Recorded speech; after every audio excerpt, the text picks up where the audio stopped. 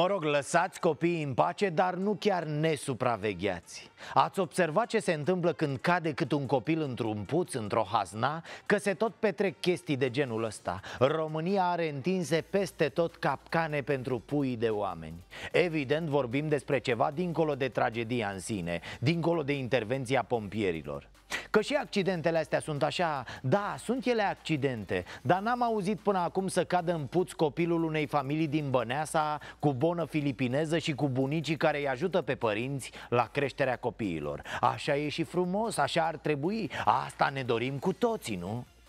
Dănuț este în stare foarte gravă, spun medicii. A stat ore întregi blocat în puțul umed și rece. Ieri dimineață se juca împreună cu sora lui mai mare în curtea părinților. La un moment dat, copilul s-a urcat pe un șgheab de lângă fântână și a ajuns pe marginea din piatră. Și-a pierdut echilibrul și a căzut în gol 16 metri. Norocul lui a fost că s-a oprit pe pompa de apă din puț, însă a stat cu jumătate de corp în apa rece. Hmm, exact cum sunt acele accidente rutiere Pe fondul consumului de alcool sau pe fondul neadaptării vitezei la condițiile meteo la fel, multe dintre aceste accidente sunt pe fondul sărăciei, pe fondul neadaptării vieții la condiții decente de trai. Ați văzut în imagini casa din chirpici neterminată? Așa e tot ce ține de viața multora dintre români Cea mai mare parte dintre ei din mediul rural E ceva provizoriu, o viață legată cu sârma, o existență ca o improvizație Doamna este mama copilului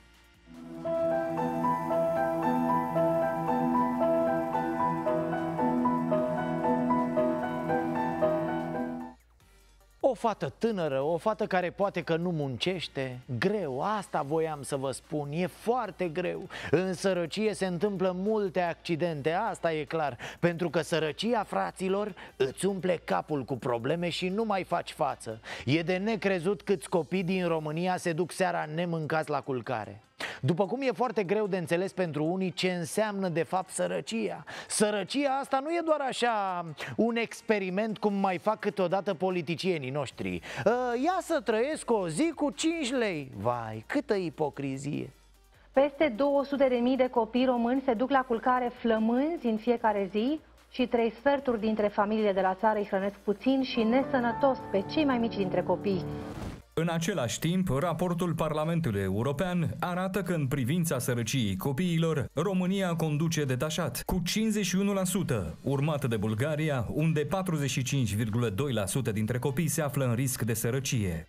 Da, poți să trăiești o zi cu 5 lei, supraviețuiești o zi chiar fără bani. Poți să te descurci cumva și zile în șir fără vreun leu.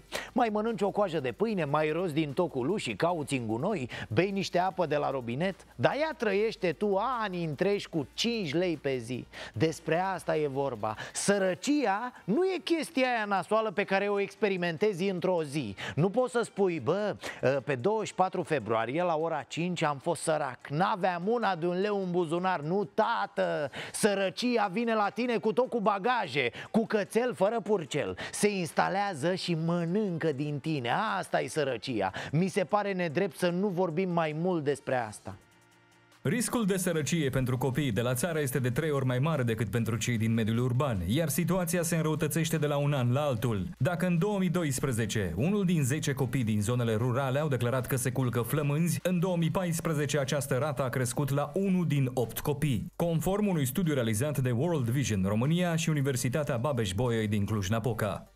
Aici se află și trecutul acestei țări și viitorul ei. Asta ar trebui explicat mereu, despre asta este vorba. O să auziți tot felul de trepăduși la televizor. Băieți de ăștia îmbrăcați frumos, la costum, nu ca mine Care explică ei cum e treaba cu economia Cu nu știu ce creștere economice, cu macro, cu de-astea Și care vă pun în față niște procente. În ceea ce ați auzit mai devreme e mai multă realitate decât în toate porcăriile sfărăitoare pe care le îndrugă ei ce aflăm noi din studiul de mai înainte? Aflăm așa În 2012, unul din 10 copii se culca nemâncat Ei bine, în 2014 s-a ajuns la unul din 8 copii Știți ce e groaznic în asta? Deși au crescut și PIB-ul, și bugetul, și România Iată că sărăcia, mama ei de sărăcie, a crescut și ea În România, sărăcia crește odată cu economia țării și, în mod paradoxal, suntem pe primul loc în Europa și la creștere economică și la sărăcie. Specialiștii susțin că, din cauza lipsei investițiilor și a politicilor statului, pe măsură ce țara se dezvoltă, diferențele dintre traiul oamenilor de la sate și al orășenilor sunt tot mai mari. E cum naiba e posibil, mă? Adică noi toți suntem mai bogați, dar avem mai mulți săraci. Cum vine treaba asta? Că eu nu pricep. Asta e cu adevărat îngrozitor. Creșterea României nu e pentru toată lumea, deci. Dezvoltarea României nu face decât să adâncească ruptura Dintre cei puțini cu venituri mari și cei mulți cu venituri foarte mici. Mai avem niște date peste jumătate dintre copiii români, 51%, trăiesc sub spectrul sărăciei, iar unii chiar în sărăcie extremă, care le limitează dreptul la creștere și dezvoltare fizică normală, arată World Vision România. Iată, ce surpriză! Sărăcia nu e numai sărăcie, presupune și excludere socială Adică sărăcia înseamnă că acei copii fără posibilități nu mai merg la școală Nu mai au aceleași șanse ca ceilalți Așa că vor deveni cel mai probabil niște adolescenți semi-analfabeți Ce produce sărăcia? În primul rând o grămadă de lipsuri Dar mai aduce cu ea și infracționalitate, frustrare, vieți rosite, un acces limitat limitat la servicii de sănătate și multă, foarte multă nefericire. Poate că asta ar trebui scris la intrarea în România, lângă poza cu simbolul național oaia. 27 de ani de democrație, 10 ani de UE, 225.000 de copii se culcă seara nemâncați. Coaliția pentru o familie fericită, fericită pentru asta ar trebui să lupte. Niciun copil să nu se mai culce seara înfometat, niciun copil să nu abandoneze școala din cauza sărăciei.